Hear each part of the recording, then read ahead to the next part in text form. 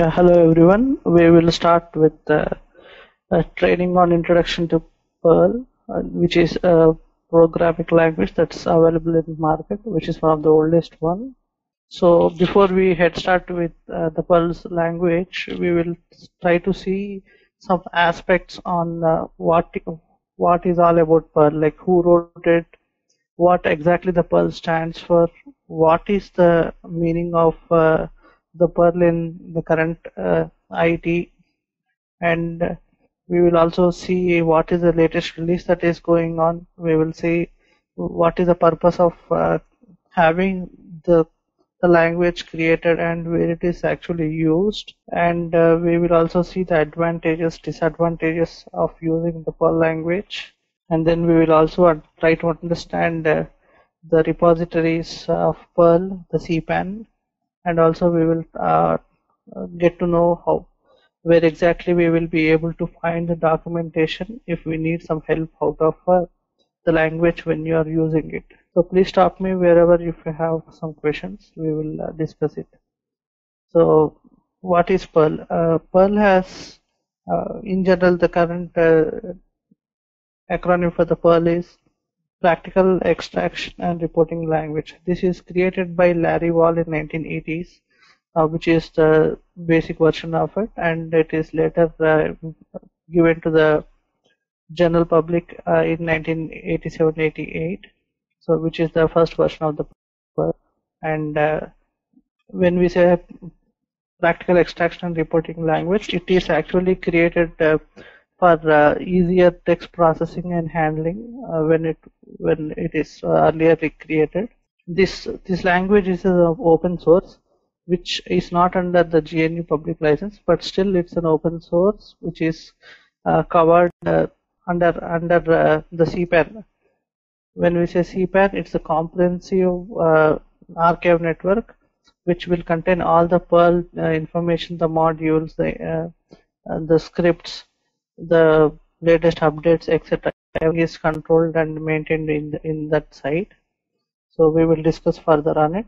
Um, so what is Perl? The Perl is one of the uh, most suitable and portable scripting language available in market uh, it, it, it, when you start writing the code in Perl, it is more or like a human readable language. It makes it quite easy and understandable. And um, okay, moreover, it's a high level language. That means it doesn't need any compilers uh, installed specifically and compiled. It is an uh, interpreted language. So uh, at times it could it could be a little slower, but uh, comparatively, uh, the advantages are more and uh, we would be using uh, the Perl for uh, automating manual tasks. we will be doing it for admin automation. We would be using it to process logs, report information. We can also implement this for security checks. We can also have it um, have extensive use of uh, Perl in bioinformatics for analysis of the DNA, etc. We can uh, use it in databases for your interacting with SQL language.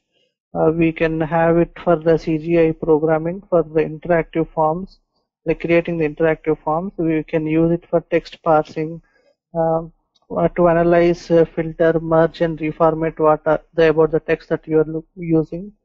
Uh, and also we can use it in Telnet and SSH.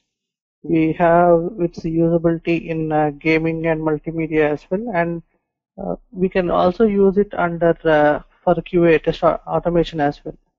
So these are a few out of a big list of uh, advantages and usability of the, the Perl language. And there are few uh, feedbacks also like uh, it is known to be a language for hackers uh, because as it can be created and implemented across so it can it has a reason to be misused so we need to be careful uh, you, creating it and as we said it's most powerful and popular language. It has a nickname called uh, Swiss Army Chainsaw. Like it has all different kinds of capabilities that uh, we can expect it to do for us. And uh, it in most of the program prog programming world it is also known to be a duct tape uh, of the internet. Like it will be used when if there is any uh, issues in uh, creating libraries and to have some uh, system utilities created etc and uh, it it has uses in DB programming. As we have told like we will be writing the interacting the code for SQL it is used in DB programming. And in the current market it is used for uh, advertisement targeting. And we will also do some web web scraping. Like when we say web, web scraping we will be doing the extraction of uh, different uh, op options and putting it to one side. Say for example uh, if you are looking for a flight information and a code so you you uh, the when we will be writing the perl code uh, it it can be created in such a way that you can get uh, the the similar information from different site and captured into a certain place. And that means we will be consolidating it and showcasing the same and uh, uh we can use it use the Perl, Perl for our internet scripting system utilities and also ETL processing and also it is used in network programming so these are a few advantages of it and uh, uh, how to access Perl. So um, before we uh, try to access Perl, uh, it, it we have certain websites which are created to uh, download the software that is needed. And in most of the Unix systems, it is uh, uh, default on in the machine. We can verify it by going to the shell and uh, running the query like perl hyphen v which will give you the version of the perl if it is installed in your machine and configured so and also if you want to try it in mac you can go for go to your terminal and verify the same and in windows uh, you need to install it like uh, if you can uh, we can go to the active state uh, perl site or the perl.com site to again get us redirected to uh, the .msi Microsoft installer package to install the Perl software. And uh, most of our uh, coding would be uh, in we will be in general be writing it in uh, the normal text editor, and we can also use some uh, integrated development environments like Eclipse, NetBeans, etc. That is optional. Like uh, if we can we can uh, we can go for it if not we have the basic test editor which we can use it for our purpose and uh, the latest version is 5.20 and if you have it installed on your machine you can either go to your command prompt in Windows or shell uh, prompt in your Unix Linux and uh, uh, the terminal which is similar to your command prompt in Mac OS and run the, the query perl hyphen v which will give you the uh, the version of it. So if we are looking for for some resources on uh, the perl documents uh, you can either go for document published by O'Reilly and we have document written by Larry Wall and we have other uh, documents published by different uh, book vendors. So uh, on top of it we have a lot of websites which would help you in understanding what exactly this language does it does for us. We have Perl monks, we have uh, Perl.org, Perl.com, ActiveState Perl, uh, etc. QNTM.org. So we have good set of uh, websites which you can refer to and uh, get the information. And uh, these are the few web sources for Perl. So as we discussed, like this is a high level uh, uh, human understandable language. When we say high level human understandable language, that means it needs an interpreter.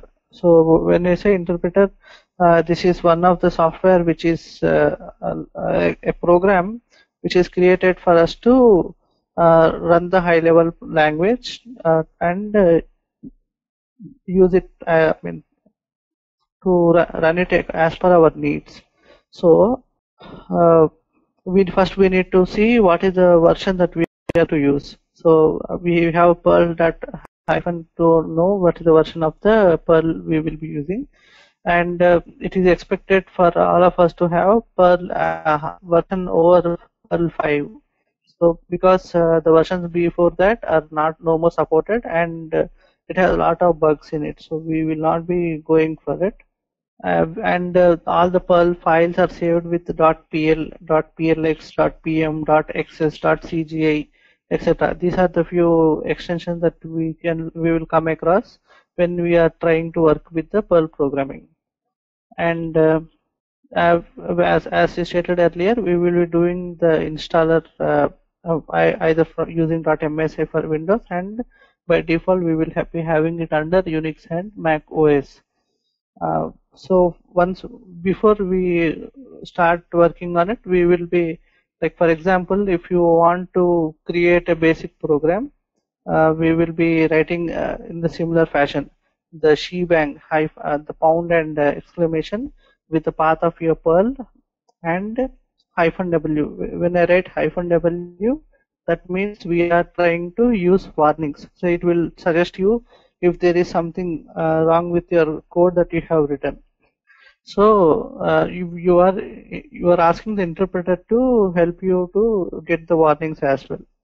And uh, the basic syntax would be print. Like this is the hello world program here. You what we looking what we are looking at.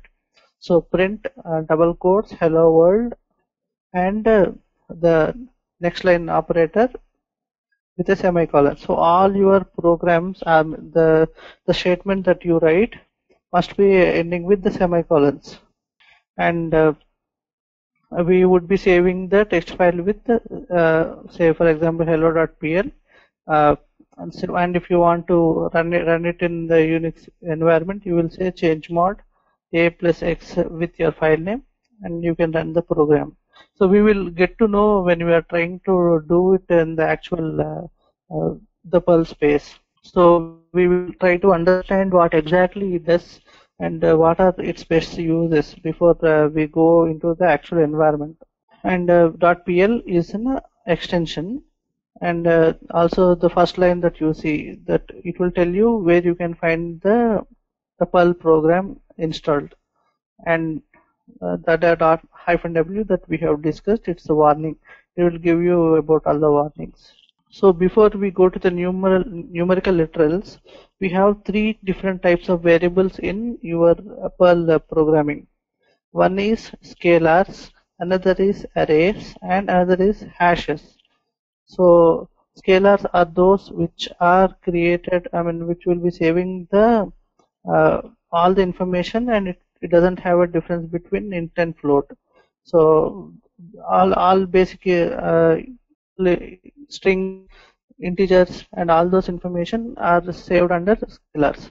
And we have two other types called uh, hashes and arrays. Those arrays would be saving your uh, information of the strings and the scalars would be uh, saving the indexed version of your strings so we will discuss on them. Uh, so your scalars when i say scalars it can contain an undefined value or a null value. And uh, it doesn't have any difference with your uh, integer or float. So I, I assume that we have little information on uh, all the different type data types say like int float strings chars etc so with the assumption I will be proceeding further. Uh, so uh, we can we use the scalars to reference another variable also uh, and when I am trying to understand the numerical literals so these are the following uh, definitions that are available and can be used in Perl. So we can use a single integer called integers. We can use a floating point values. We have scientific notations uh, like one e uh, exponential values, and we have uh, six and uh, 6.4 e power 33, etc. I mean these will these are the scientific notation. And also if you are using a long uh, long numbers you can use it use underscore rather than uh, and all the string literals uh, are uh, in your double quotes. So if you are using a single quote all the escape characters are considered as considered as strings only. So we need to be careful using the single quotes. So i mean uh, the statements above are a few quotes given by Larry Wall like uh, real programmers can write assembly in uh, any language. And also we have a quote saying that uh, laziness is one virtue which is being used by him.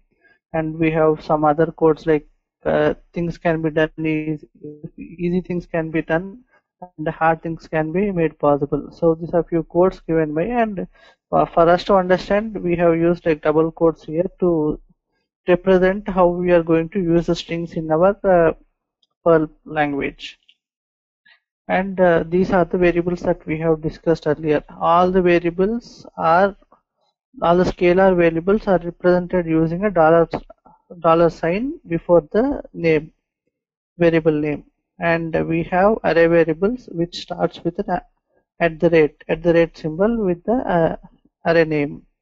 And also hash variables the hash variables start with a percentile and the hash variable name. And uh, we also have some file handlers like stdin for uh, taking input from your keyboard std out std error for uh, getting the error values etc and one good thing with Perl is we, we need not to declare any variables. And uh, the, the, the definition as I stated earlier the definition of your scalar value is determined by department when uh, we start using it. Say for example if I write uh, dollar a is equal to 5 then it is considered as an integer. And if I use the same uh, 5 within a single quotes then it is considered to be a string in string character. So we have the system interprets based on the operator that we use. So for example if I have uh, dollar a is equal to 5 and dollar b is equal to uh, 6 uh, then if I write uh, the addition of dollar a plus dollar b then it would be 5 plus 6 is equal to 11 and say for example uh, if I have uh, dollar a is equal to 5 and dollar b is equal to single quotes 6 then the outcome of a plus b would be 5 6 so it will be interpreting it as a string. So we need to be careful in how we are representing the information. So uh, uh, the summar summarizing it is the scalar variables cannot determine uh, I mean, it cannot differ differ between a number and a string but the, our interpreter helps us in getting it understand and we have different set of operators uh, uh, with the Perl language. We have numeric and logical operators, we have string operators, we have uh, list operators, parentheses, braces, quotes, and we have the arrays and hashes that we have seen earlier. Uh, we have increment and decrement operators, we have unary, arithmetic, bit operators, logical operators, etc. So like all the when I, when we represent as typical, we have that the arithmetic operators like addition, subtraction, multiplication, division, modular, and we have increment, decrement operators of uh, plus, plus, minus, minus, and we have uh, others also like the plus equals, minus equals, and uh, multiplication equals and divisional equals, and we have logical OR and logical AND, etc. And uh, we have another uh, operator uh, with two uh, star, star signs which is for uh, exponentiation. We will look at it. And uh, we can also have string operators for your concatenation. Those we will be doing it using a dot operator uh, okay so for example here we have dollar first name is equal to Larry and dollar last name is equal to Wall so if you want to do a string concatenation we will say dollar full name is equal to dollar first name dot. And uh, you want to use a white space then you will give a double quote space and again give dot dollar last name with a semicolon. As we have to end every statement with a semicolon we will be getting the output. And uh, say for example uh, you want to work with equality operators. Uh, so for uh, like here we have an example which states dollar language is equal to Perl. And uh, if I say double equals if I use a single equals then it is like assignment to your variable. The information that is present on your right hand side would be assigning assign it to your variable on your left side so and and if I use a double equals that means it is comparing uh, we would be comparing the information on your left hand side with your right hand side. So we need to be very careful in using the operators. So if you are trying to do an assignment, make use of a single equals. And if you want to uh, use uh, verify the equality and inequality, we can use EQ or NE uh, for validating it. Uh, it would be easy to use it in uh, Perl language. And we have the relationship operators, uh, the greater than, greater than or equals, less than, less than or equal to. So we will try to write an example and see how we are going to represent it and use it for our programming and we have few uh, string functions like if you are trying to convert it to the uppercase so to your variable if you use uh, UC uh, with the variable value then it will convert it to the uppercase and if you want to convert only first character of your uh, the word then you will use UC first. Similarly for the lowercase uh, here we have an example. Like it says uh, I have variable 1 whose name is Larry, I have variable 2 whose name is MOE and I have variable 3 etc. So if I use uh, dollar uh, variable 1 is equal to uh, UC first of uh, variable 1 then it will give me output as capital L uh, Larry. Similarly if I use UC uh, variable 2 then it will give me all caps MOE. So here is the representation of our program. So when I say print UC first variable 1, then it will print uh, capital L A R R Y. And similarly UC uh, variable 2, it will give me all the all the letters in your word as the capital capital letters. And similarly, if I use print lowercase first, then uh, lowercase first of uppercase of all the values, then it will give me a small s letter and hemp as the caps one. So we can use them as per our need.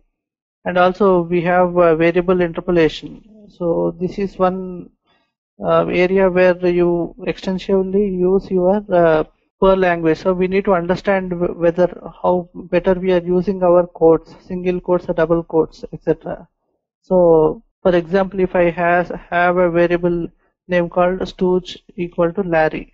So when I say uh, double quotes dollar stooge is one of the three stooges, then it will try to replace the variable name with the value that we have assigned.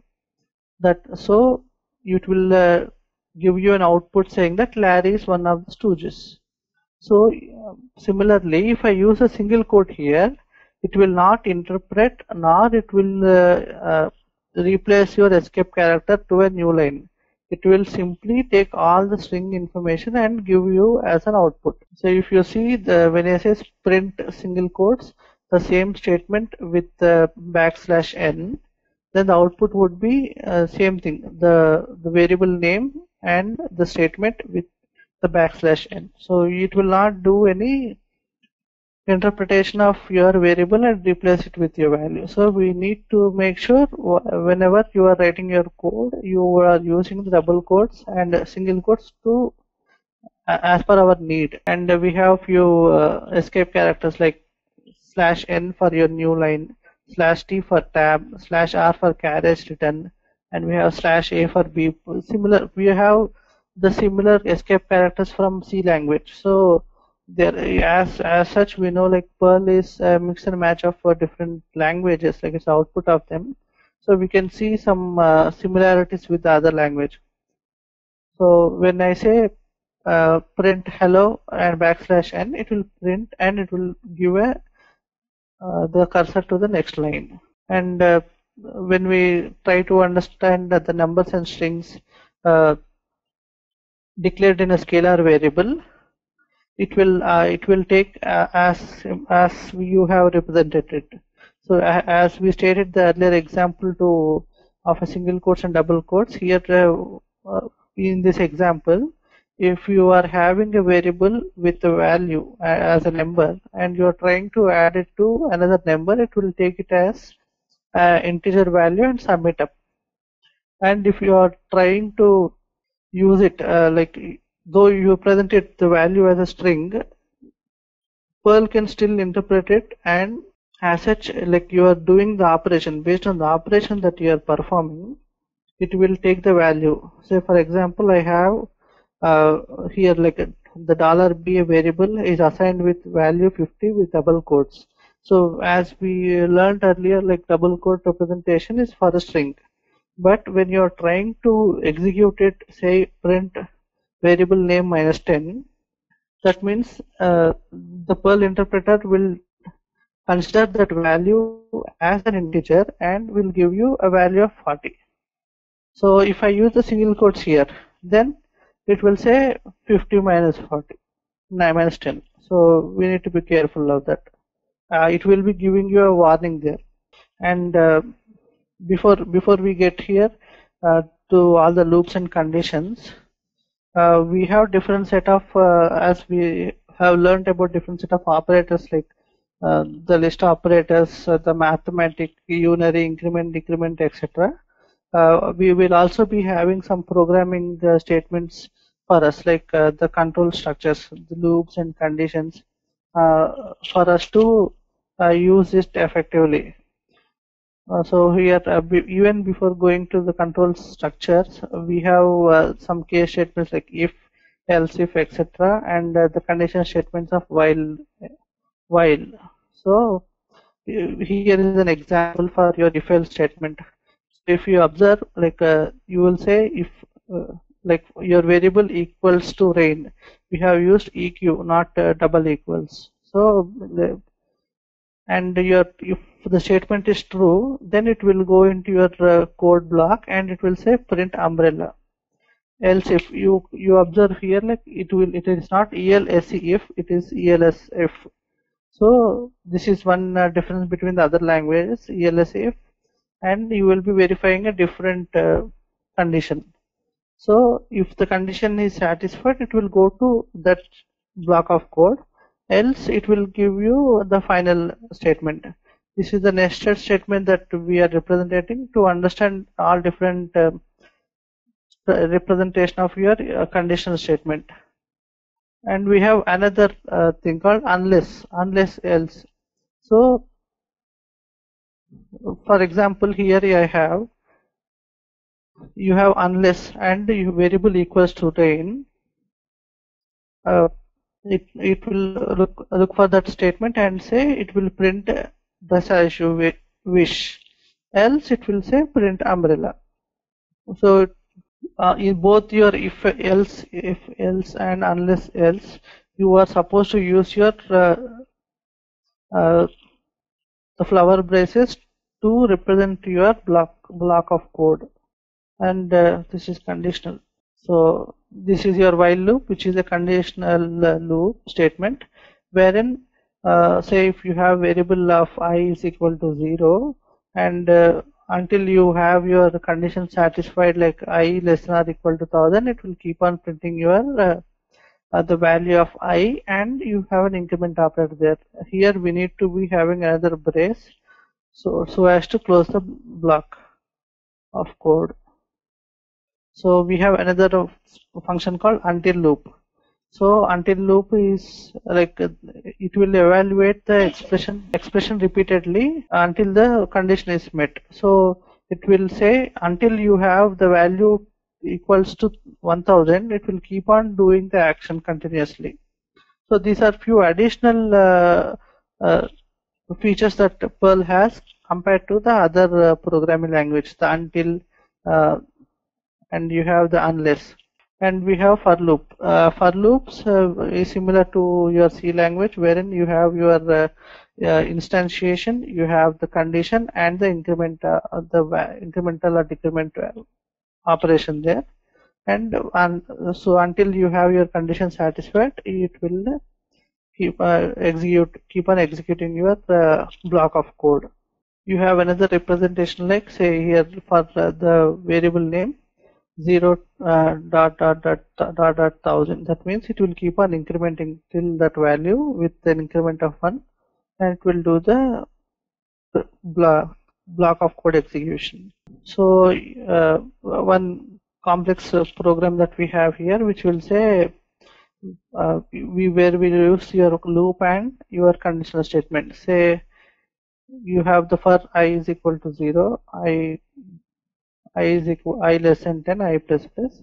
In that again if your uh, i is equals to 1 or i is equal to 3, then you will go to the next. That way, like it is similar to we have the break, uh, break, continue, etc. in your uh, other programming languages next is the one which we use it here it, when I use the next in your code block it will say ignore the current iteration it will come out of it and similar to your break you have the last here. The last means it will come out of your uh, loop.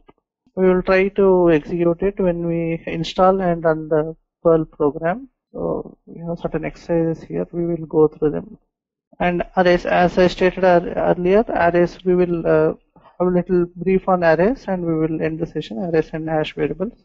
So arrays are those um, list of scalars indexed by an integer say if I have a representation of array at the rate array is equal to uh, a string a set of strings. That means my first letter array Larry would be an index of 0 and index of 1 would be curly.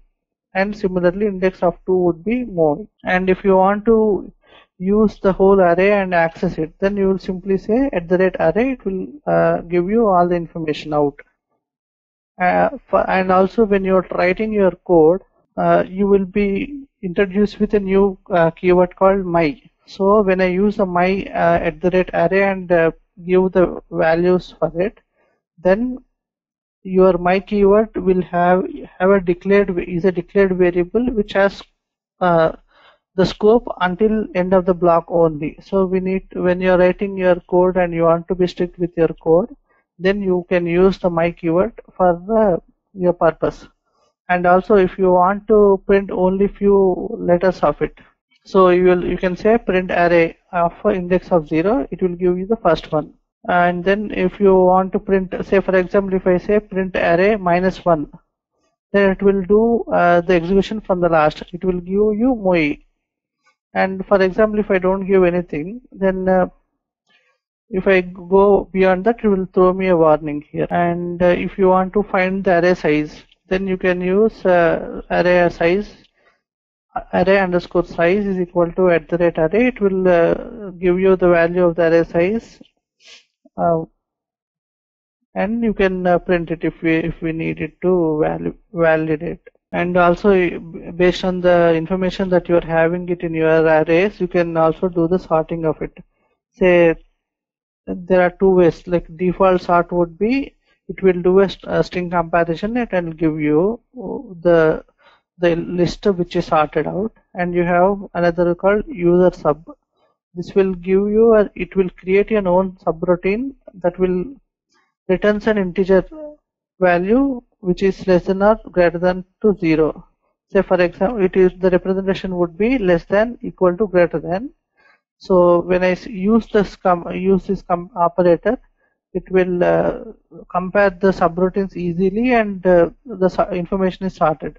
So I will I will stop the session here and uh, we will discuss further on all the arrays uh, the string, string sorting and uh, we have other uh, setups like for each and we have array manipulation splits we have hashes we have the multidimensional arrays we have references and nested data structures we have lists in it and we can also discuss on uh, uh different practical examples and utilizations of array uh, in the next sessions.